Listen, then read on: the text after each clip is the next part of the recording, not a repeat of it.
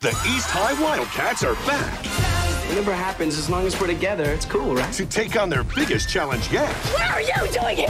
I'm the new lifeguard. summer jobs. I told you to hire Troy Bolton, not the entire East High student body. Now they're about to discover that working for a country club is no vacation. I think we were meant to sing together. Ah! Disney Channel's newest original movie, High School Musical 2, coming August 17th to Disney Channel.